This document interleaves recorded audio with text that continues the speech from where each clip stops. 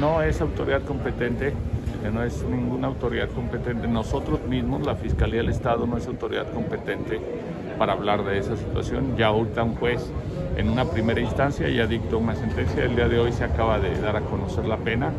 Se ordena la devolución en reparación del daño de los 7 millones y fracción de pesos.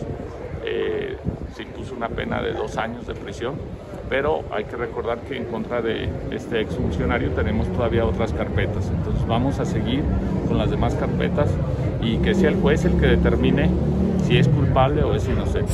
Porque de acuerdo a los causos legales todavía pudiera esta sentencia primero ser recurrida, es decir, todavía se puede interponer un recurso de apelación y si no se recurriera, este, la pena de prisión puede ser sustituida, pero para ser sustituida primero se necesita que se pague la reparación de daño, que son los 7 millones.